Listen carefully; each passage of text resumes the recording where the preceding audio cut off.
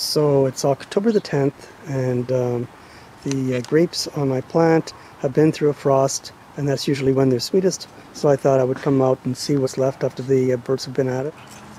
Oh, what's, what's what's happening here? Oh, I've never seen this before. yep, looks like there's a.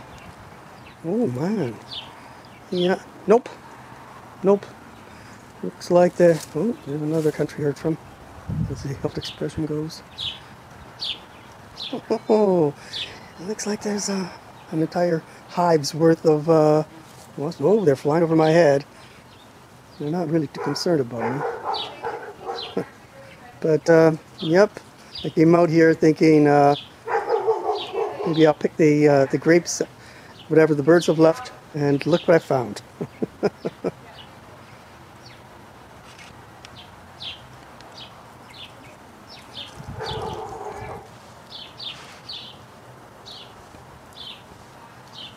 honestly, wasps get to have a bad reputation, but they're pretty chill.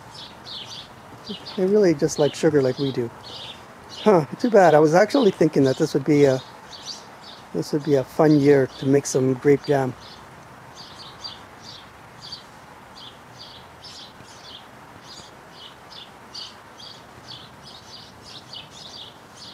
I, I don't know why they all have to be on that one grape.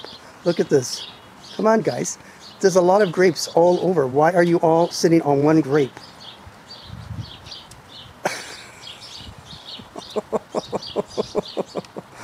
oh man.